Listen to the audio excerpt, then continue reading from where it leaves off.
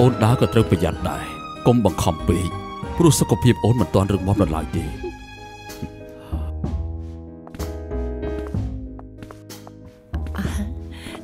ជំរាបសួរអ្នកស្វាគមន៍អ្នកស្រីទី4មកកាន់ភូមិគ្រឹះនេះស្វាគមន៍អ្នកស្រីអរគុណបងប្អូនទាំងអស់គ្នាអរគុណ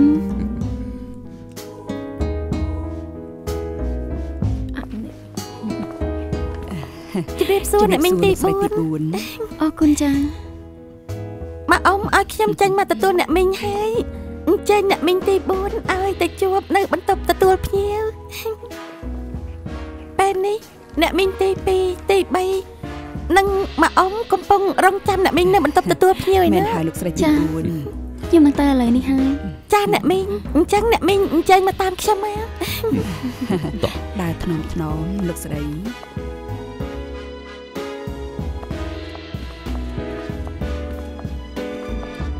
ណែបងសាយបងឯងគិតថាអ្នកស្រីទី4ចូលមកក្នុងភូមិគ្រឹះនេះតើជាប្រផ្នូលល្អឬក៏អាក្រក់ទៅហឹមវាជាប្រផ្នូលល្អណាស់ព្រោះភូមិគ្រឹះមួយនេះនឹងមានក្មេងស្នងតកូលហើយហើយនឹងមានក្មេងរត់លេងពេញភូមិគ្រឹះនេះទៀតផងឯងចាំតែមើលទៅនេះស៊ីមតែខ្ញុំគិតថាវាជាប្រផ្នូលអាក្រក់ច្រើនជាង ណែនឹងស៊ីមហេតុអីបានជាឯងនិយាយរឿងអពមង្គលទៅវិញហាការដែលភូមិគ្រឹះនេះមានអ្នកស្រង់តកូលនោះគឺមិនមែនជាបំណងរបស់ចៅហ្វាយស្រីបងទេហ៎ឯងនិយាយអញ្ចឹងឯងចង់មានន័យយ៉ាងម៉េចហាហឹមបងគិតមើលខ្លួនឯងទៅខ្ញុំមានអារម្មណ៍ថាភូមិគ្រឹះនេះថ្ងៃមុខច្បាស់ជាមានរឿងអាក្រក់ជាមិនខានទេហឹមបងចាំតែមើលចាស់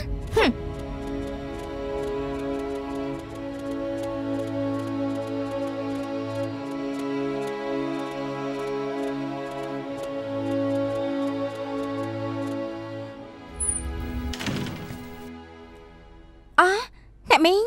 នោះគាត់មកហើយ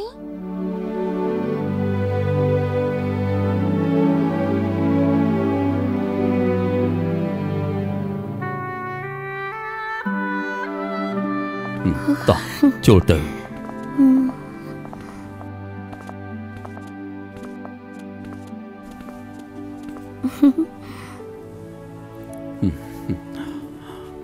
អូនទី1ទី ចាអត់អីទេលោកប្តី2បងសុំណែនាំឲ្យស្គាល់នេះគឺអូនឆូវីជំរាបសួរអ្នកបង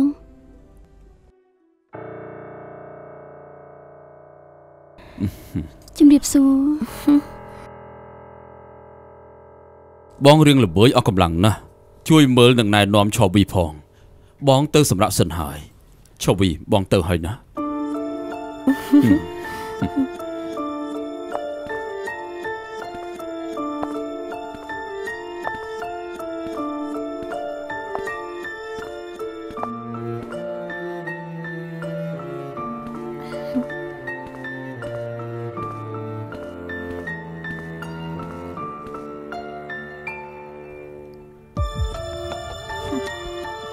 ក្យចាស់ថាមិនខុសមែนមនុស្សយើង អាចប្រកួតប្រជែងគ្នាបានគ្រប់រឿងតែអារឿងវាសនានេះមួយណាมันអាចប្រកួតប្រជែងគ្នាបានឡើយខ្ញុំទទួលស្គាល់ថាកន្លងមកខ្ញុំធ្វើរឿងខ្លះមិនល្អក៏បីជាមួយប្អូនទី4តែពេលនេះខ្ញុំមានអារម្មណ៍ថានឿយហត់ហើយ ទោះជាខ្ញុំខំប្រឹងយ៉ាងណាក៏មិនអាចប្រកួតប្រជែងជាមួយប្អូនទី4បានដែរដោយសារពេលនេះប្អូនទី4មានផ្ទៃពោះហើយហើយកូននេះនឹងក្លាយជាម្ចាស់ភូមិគ្រឹះនៅថ្ងៃអនាគតទៀតផងគិតទៅពិតជាទាយវាសនាមនុស្សមិនត្រូវមែនណោះតែមួយប្រព្រឹត្តភ្នែកសោះ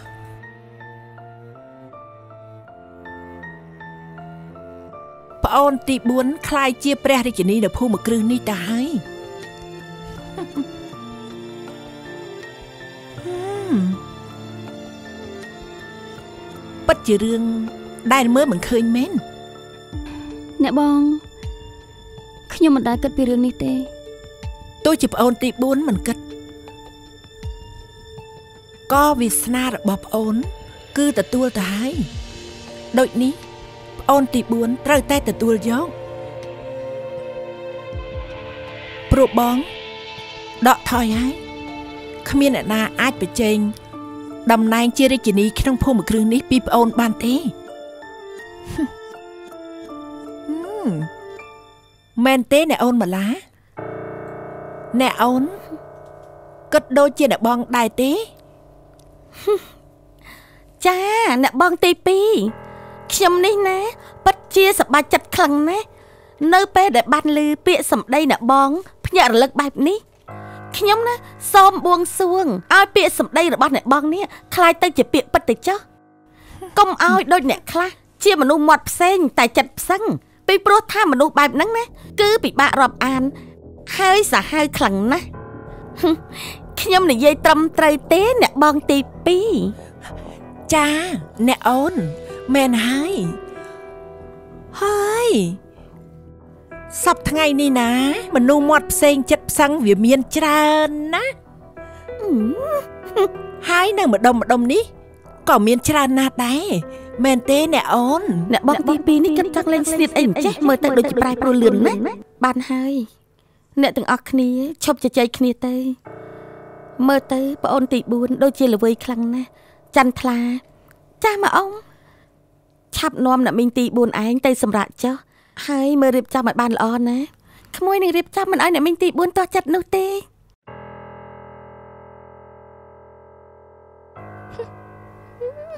ជ្រិញមានខ្វះខាតអីទទួលផងណាមកអ៊ំក៏បារម្ភអីអញ្ចឹងអ្នកមីងទី4ចាលាហើយអ្នកបងទៅចុះណាជំរាបលា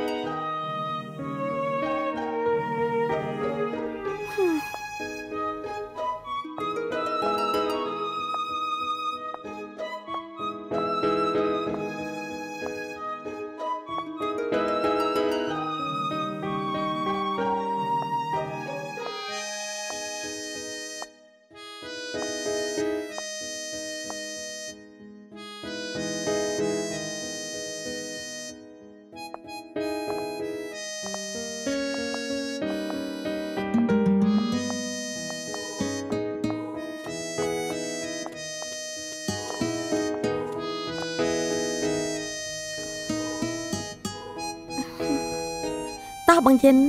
ចាលោកស្រី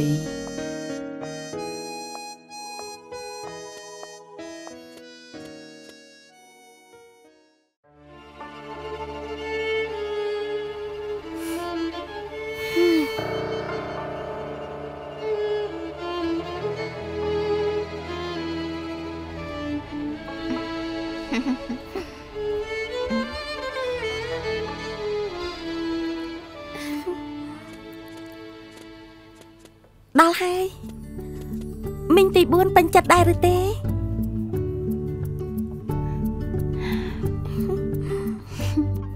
មិនអីទេ បន្ទប់បែបណាក៏ខ្ញុំអាចរស់នៅបានដែរនិយាយពីបន្ទប់នេះវិញ គឺស្រស់ស្អាតខ្លាំងណាស់អរគុណនាងហើយដែលមករវល់ជាមួយខ្ញុំមីងជាមីងទី4របស់ខ្ញុំខ្ញុំមករវល់ជាមួយមីងជារឿងគប្បីតាម្យ៉ាងទៀតនេះគឺជាបញ្ជារបស់ម៉ាអ៊ំ ដែលតម្រូវឲ្យខ្ញុំត្រូវធ្វើបែបនេះអ្នកបងទី1ពិតជាមនុស្សល្អណាស់ចំណែកនាងវិញក៏ជាមនុស្សស្រីម្នាក់ដែលរស់រាយមាននិស្ស័យគួរឲ្យស្រឡាញ់រាប់អានខ្លាំងណាស់លើកទី1ហើយដែលមានអ្នកសរសើរខ្ញុំបែបនេះអរគុណអ្នកមីងហើយនិយាយលាក់បាំងអីខ្ញុំគ្រាន់តែឃើញនាងភ្លាមខ្ញុំហាក់ដូចជា មាននិស្ស័យជាមួយនឹងនាងខ្លាំងណាស់ ធ្វើឲ្យខ្ញុំមានអារម្មណ៍មិនសូវតានតឹង ពេលដែលមកដល់ទីនេះអាចនិយាយបានថា នាងជាមនុស្សដែលធ្វើឲ្យខ្ញុំមានអារម្មណ៍កក់ក្ដៅខ្ញុំពិសេសដល់ថ្នាក់នេះផងខ្ញុំនិយាយនេះគឺអារម្មណ៍ពិតរបស់ខ្ញុំអឺខ្ញុំមានរឿងមួយចង់ស្នើសុំអ្នកមីងបានទេ ចា នាងនិយាយមកចោលអឺ ខ្ញុំចង់ឲ្យអ្នកមីងទី4ថាជាអ្នកមីងពៅវិញបានឬអត់ហេតុអីបានជា នាងចង់ហៅថាបែបនេះវិញអឺបើខ្ញុំហៅថាអ្នកមីងទី4នោះខ្ញុំមានអារម្មណ៍ថាអាចនឹងមានអ្នកមីងទី5នៅក្នុងភូមិគ្រឹះនេះទៀតតែបើខ្ញុំហៅអ្នកមីងថា ជាអ្នកមីងពៅនោះខ្ញុំមានអារម្មណ៍ថាកក់ក្ដៅស្និទ្ធស្នាលអឺ ហើយជាពិសេសនោះ គឺអ្នកមីងជាអ្នកមីងចុងក្រោយនៅភូមិគ្រឹះនេះគ្មានអ្នកមីងទី5នោះទៀតទេខ្ញុំយល់ហើយអញ្ចឹងនាងចង់ហៅខ្ញុំថាយ៉ាងម៉េចក៏បានដែរខ្ញុំមិនថាអីទេអឺអញ្ចឹងខ្ញុំសម្រេចថាខ្ញុំនឹងហៅអ្នកមីងពៅហើយណាមិនបាច់ហៅថាអ្នកមីងពៅទេ ហៅថាមីងពៅទៅងាយស្រួលជាងអឺហៅមីងពៅដូចជាមិនសមទេដឹងដូចជាខ្វះការគួរសមណាស់អត់ល្អទេមិញថាមិនអីទេហៅបែបនេះទៅស្និទ្ធស្នាលជាងណាអឺអញ្ចឹងក៏ល្អម្យ៉ាងដែរម្យ៉ាងទៀតខ្ញុំនិងអ្នកមីងក៏មានអាយុមិនលើសគ្នាប្រហែលដែរហឹមសម្រាប់ថាអញ្ចឹងចាស់ណា មីងពៅចន្ទថ្លាអឺមីងពេញចិត្តរូបនេះទេ ចាពេញចិត្តណាស់ត្រីមិនចង់យល់មិនចង់ស្គាល់ទាំងគ្នាប្រចង់ស្នេហ៍ឡើយគ្រានេះជួបហើយចង់កេញ